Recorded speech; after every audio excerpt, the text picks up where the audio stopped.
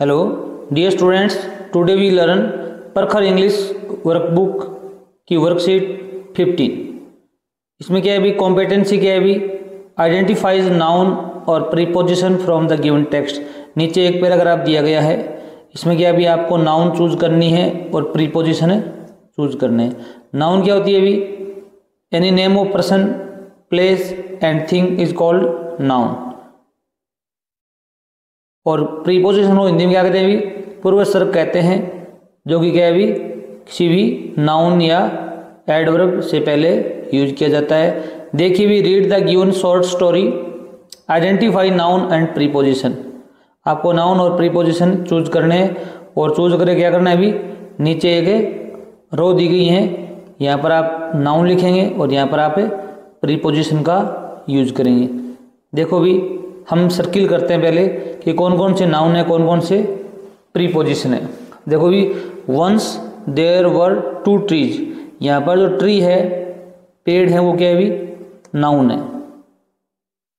पहले हम noun check कर लेते हैं, फिर हम प्रीपोजिशन चेक करेंगे।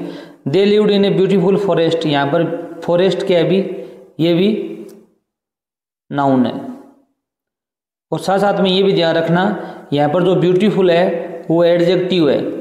क्योंकि वो इस फॉरेस्ट की विशेषता बता रहा है क्वालिफाई कर रहा है कि फॉरेस्ट सुंदर है, बद्दा है, घना है विरल है, कैसा है।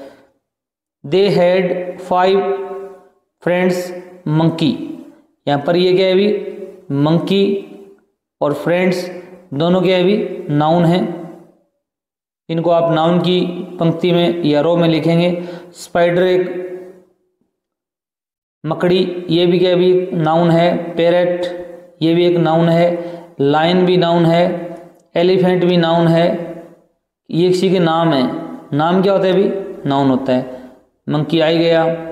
ऑन द ट्री ट्री भी आ गया लायन आ गया। यहाँ पर जो केव दे रखा है ना, ये भी क्या भी नाउन है। स्पाइडर वेब वेब मन का भी जाला। ये भी नाउन है। ब्रांच भी क्या है भी शाखा, किसी का नाम है। ये भी नाउन है। पेरेट नेस्ट नेस्ट मानी क्या होता है घोसला। कोई भी वर्ड होता है, उसके पहले ए आर्टिकल लग जाए।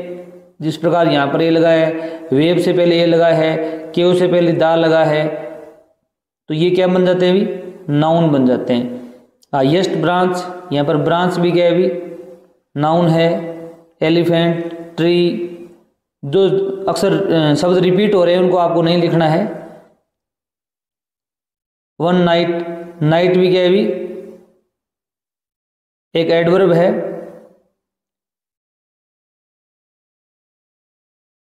ट्रीज फ्रेंड्स डिनर ये भी क्या है भी नाउन है। मैंगोज क्या है एक नाउन है। येलो एडजेक्टिव है। जूसी भी क्या है भी एडजेक्टिव है। और पेरेट स्मॉल सीड्स सीड्स भी क्या है नाउन है। बकेट भी क्या भी नाउन है। वाटर भी नाउन है। रिवर भी नाउन है। ये नाम है किसी के। फ़ूड भोजन भी नाउन है। अब भोजन कैसा है? डिलीशियस है। ये एडजेक्टिव है। ठीक है? अब बकेट बाल्टी छोटी है बड़ी है? बिग है। ये एडजेक्टिव है। जो विशेषता है मैंगो है वो जूसी हैं, कैसे हैं? तो जूसी है, वो भी एडजेक्टिव है। बीज है, वो छोटे हैं। ये स्मॉल ये एडजेक्टिव है। आपको एडजेक्टिव चूज़ करना हो तो भी आप ध्यान रखना। यहाँ पर देखो भी, ये सारे जो वर्ड मैंने सर्किल किया, ये क्या है भी? नाउन है। अब हम चूज़ करते हैं प्रीपोजिशन प्रीपोजिशन देखिए भी। यहाँ पर इन भी प्रीपोजिशन है। They had five friends monkey spider parrot lion elephant the monkey lived on यहाँ पर ऑन है भी प्रीपोजिशन है। इन साइड है भी प्रीपोजिशन है। Spider on a way between the branches between के भी प्रीपोजिशन है। Parrot in next below below भी क्या भी प्रीपोजिशन है, अंडर भी गया अभी, प्रीपोजिशन है। One night the trees their friends were having dinner the monkey bought yellow juicy mangoes parrot collected small seeds and elephant got big bucket of ये भी गया अभी। प्रीपोजिशन है फ्रॉम भी प्रीपोजिशन है। They all cook delicious food and ate together यहाँ पर together गया अभी, ये भी प्रीपोजिशन है।